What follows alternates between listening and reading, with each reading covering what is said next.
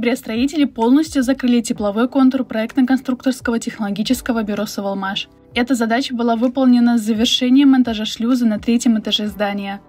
Два самых масштабных направления работы строителей в ноябре – это монтаж межкомнатных перегородок на всех этажах и подведение теплотрассы к зданию – Началась установка межкомнатных перегородок на первом и втором этажах производственного корпуса и на территории склада. Сейчас можно наблюдать, как там растет густой лес металлокаркасов, а на полу выстроились шеренги стройматериалов для будущих перегородок.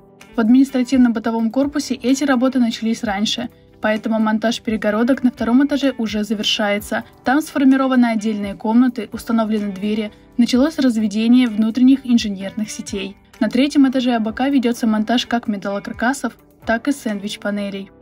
Кроме того, строители выполнили укладку плитки на первом этаже здания, а на втором этаже начали готовиться к укладке финишного напольного покрытия в отдельных зонах. В зависимости от зоны это будет плитка или линолеум.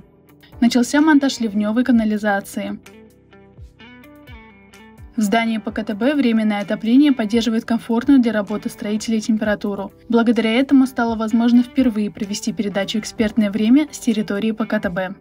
Снаружи здания, за пределами площадки Савалмаш, строители вырыли траншею для подключения к теплораспределительному пункту.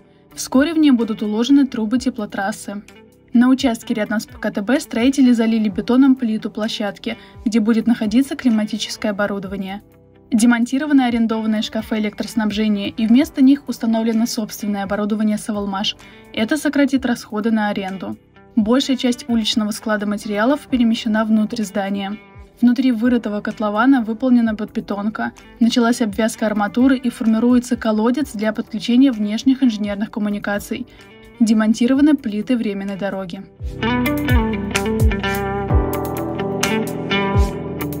12 ноября компания Solar Group открыла национальное представительство в Северной Македонии, 22 по счету в мире, и провела первую для страны конференцию в Скопье.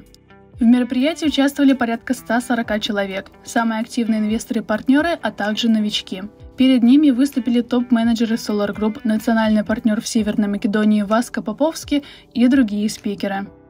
Среди участников конференции было много технических специалистов, которые интересовались особенностями и областями применения технологии «Славянка». В рамках конференции состоялось несколько деловых встреч делегации Solar Group с представителями местного бизнеса и государственных учреждений.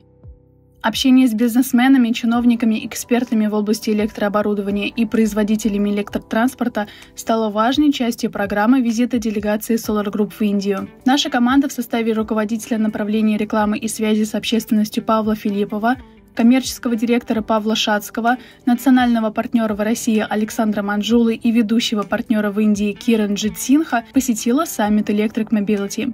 Спикеры саммита и лидеры ведущих компаний представили свои решения самых актуальных проблем отрасли. Команда Solar Group участвовала в мероприятии, чтобы проанализировать тренды и перспективы рынка на ближайшие пять лет. 19 ноября в Нью-Дели состоялась конференция Solar Group, которая стала одним из самых масштабных мероприятий в истории проекта. В ней приняли участие более 600 гостей. От первых лиц проекта они узнали последние новости, результаты развития проекта в разных странах и цифры финансирования. Увидели двигатели с совмещенными обмотками и технику на славянке. В центре внимания также было обсуждение тренда по переходу на электротранспорт в Индии и других странах.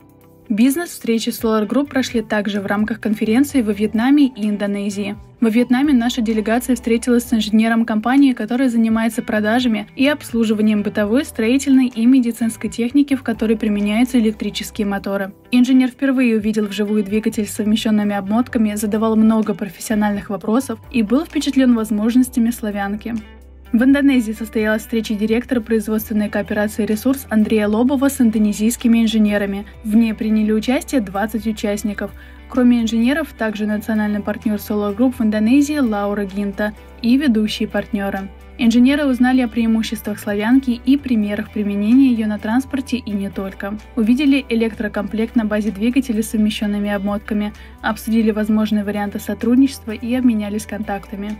5 ноября прошла конференция с участием топ-менеджеров Solar Group Болгарии. На мероприятии собралось более 40 гостей. Болгария – одна из самых активных стран в проекте наряду с такими крупными государствами, как Россия, Индия, Индонезия. Компания Solar Group рассчитывает на усиление активности партнеров и инвесторов в тех странах, где прошли конференции, как это обычно происходит после крупных конференций. Турне из конференции Solar Group с личным участием топ-менеджеров компании в 2022 году завершилась и продолжится уже в начале 2023 года.